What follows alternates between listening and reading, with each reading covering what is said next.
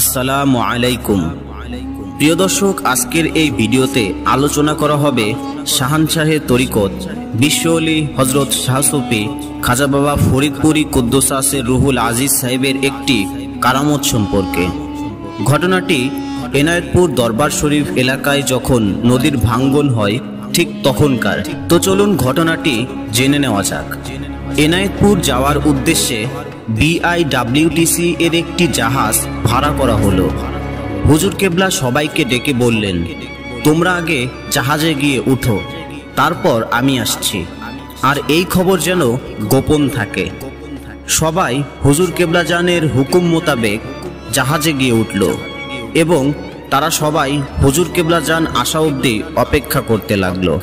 ফরিদপুরের তৎকালীন সিএনবি ঘাটে জাহাজটি রাখা হয়েছিল। কিছুক্ষণ পরে হুজুর কেবলা যান আসলেন। তারপর জাহাজটি ছেড়ে দেওয়া হলো।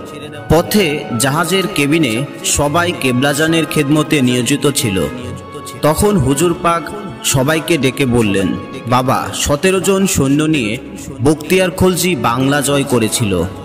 বাবা, আমরাও সতেরো জনের কাফেলা নিয়ে যাচ্ছি। খোদা তাআলার অসীম দয়া আমাদের উপর সুনিশ্চিত। এনায়েতপুর পৌঁছানোর পর এনায়েতপুর দরবার শরীফ থেকে সবাই এলেন হুজুর কেবলাজানকে নিয়ে যেতে। কিন্তু হুজুর কেবলাজান নামলেন না। সবাইকে ফিরিয়ে দিয়ে তিনি বললেন, আমি রাতে জাহাজেই থাকব। আপনারা চলে যান।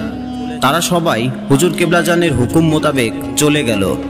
তারা চলে যাবার পর হুজুর জাহাজের সারেংকে উজানের দিকে জাহাজ চালাতে বললেন। স্রোত ধরে যেতে যেতে সবাই সোহাগপুর পর্যন্ত চলে গেল। সেখানে গিয়ে হুজুর কেবলা দেখালেন, উজান থেকে আসা স্রোত নদীর পূর্ব পারে বাড়ি খেয়ে সেখান থেকে স্রোত ডাইভার্ট হয়ে চলে আসছে পশ্চিম পারে। সেখানেই দরবার শরীফের পারে এসে আঘাত করছে এবং সেই জন্য দরবার শরীফের পার ভাঙছে। কেবলাজান তখন সারেংকে বললেন, পুনরায় স্রোত ধরে এনায়েতপুর ঘাটে যেতে।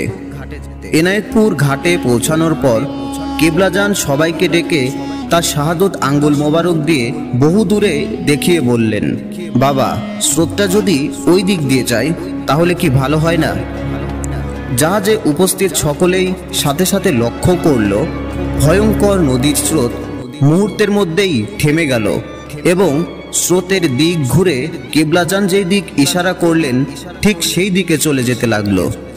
আগের সেই জায়গায় আর কোনো স্রোতই কেউ দেখতে পেল না। উপস্থিত সকলেই এ ঘটনা দেখে আশ্চর্য হয়ে গেল। তারপরেই এনায়েতপুর দরবার শরীফ এলাকায় নদীর ভাঙ্গন একেবারেই বন্ধ হয়ে গেল।